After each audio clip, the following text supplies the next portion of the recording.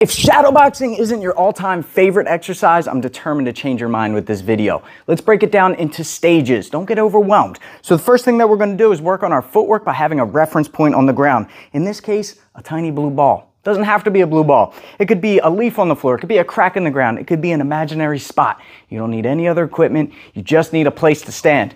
The first round is just footwork. So that's my reference point. That's my opponent.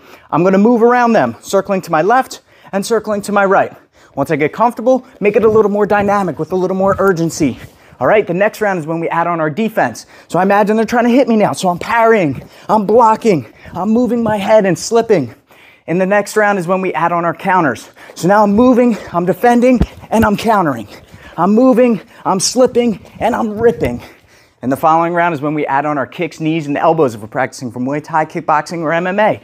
So now I'm moving, I'm defending, I'm countering, and then I finish with